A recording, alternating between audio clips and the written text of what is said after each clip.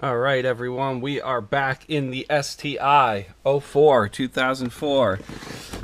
What we're going to look at today is a very common problem on WRX's STIs, Imprezas, Foresters, Legacies, whoever has a clutch.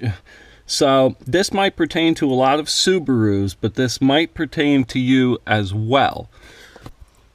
Now, as we can see here, there are three pedals here. We have a throttle pedal, we have a brake pedal, and we have a clutch pedal.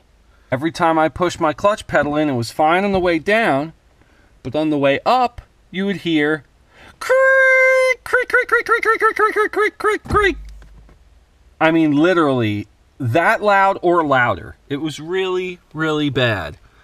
That were above the clutch pedal. I noticed that there was this spring here above the clutch pedal. So I thought that might be the problem. I thought that might be what was causing a lot of this creaking. Creak, creak, creak, creak, creak, creak. Now I know there is some type of issue with the firewall and some welds. Now if that's not your issue, I'm gonna grab our pointer. Here's your clutch. I'm gonna move over to the brake. Now we're gonna move over to the throttle pedal. Now, if you look closely, when I move the clutch in, you see that arm moving up there?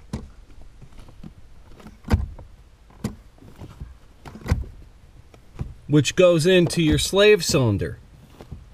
Now, when you depress the clutch, this rod right here is just going crazy. So what your sound is, is this little rubber piece right here gets really dry. And when this rod gets dry here as well, it creates a creaking sound.